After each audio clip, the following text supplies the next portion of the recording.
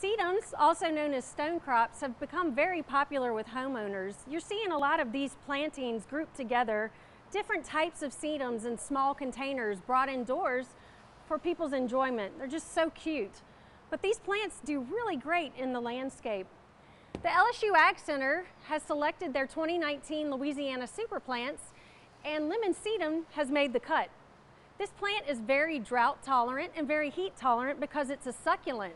It has this beautiful chartreuse yellow color. And these can be grown in full sun. They can also be grown in partial sun. And in the full sun, you'll have a bright yellow chartreuse color. If it's in more of a shaded area, you'll get a lighter green color. They're great as a border in your landscape. Now this plant can be trimmed to keep a tight form, but for the most part, it'll just spread about 12 to 24 inches it grows to about three to six inches in height and it's just a wonderful plant for the landscape. For a fuller, more instant look, use one gallon size containers or because of its vigorous growth, you can actually start off with smaller sizes such as six inch or four inch. These will grow in very quickly. If you're looking for a low maintenance plant, then lemon sedum is the plant for you.